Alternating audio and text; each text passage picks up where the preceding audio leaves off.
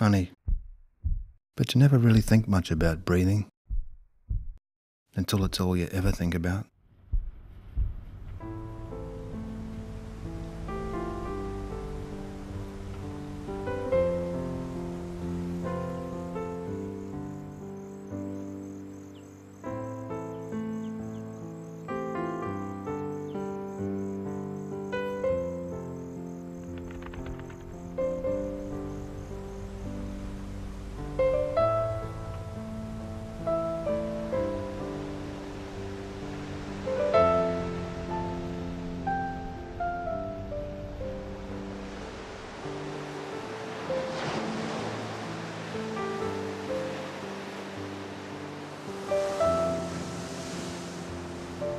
I've been writing novels about the coast of Western Australia for 25 years.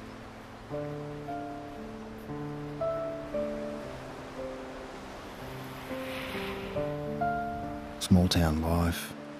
People who don't say much but have secrets and dreams they keep close to their chests.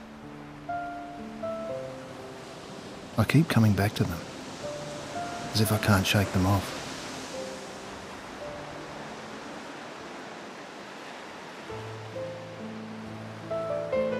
Breath is a story about growing up in that kind of world.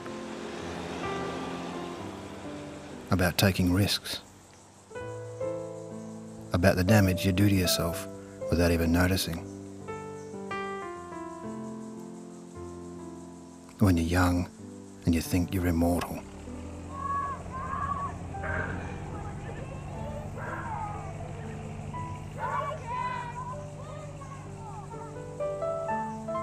I grew up in a weatherboard house in a mill town.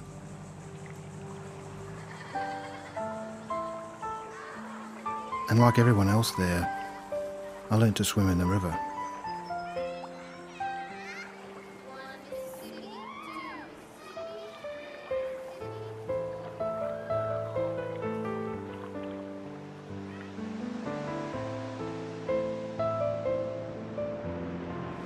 The sea was miles away, but during big autumn swells, a salty vapour drifted up the valley at the height of the treetops.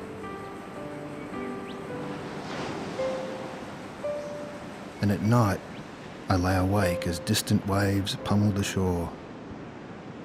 The earth beneath us seemed to hum. I wanted to be out there. I leant across the wall of upstanding water, and the board came with me as though it was part of my mind and body. How strange it was to see men do something beautiful, something pointless and elegant.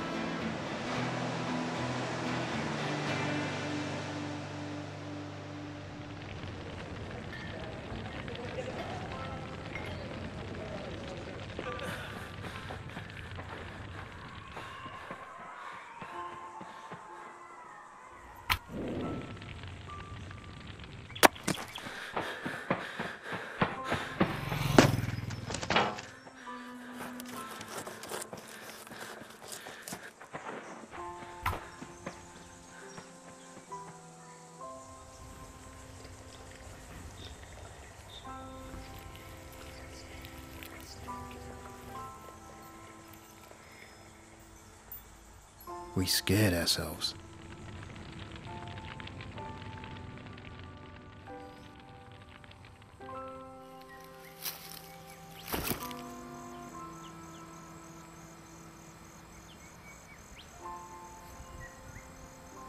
More than once since then, I've wondered if the life-threatening hijinks that Loonie and I and Sando and Eva got up to in the years of my adolescence were anything more than a rebellion against the monotony of drawing breath.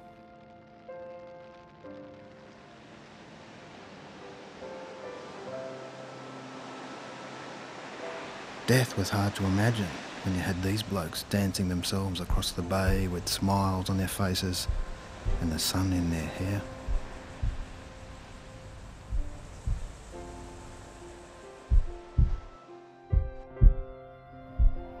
Death was everywhere, waiting, undiminished. It would always be coming for me and for mine.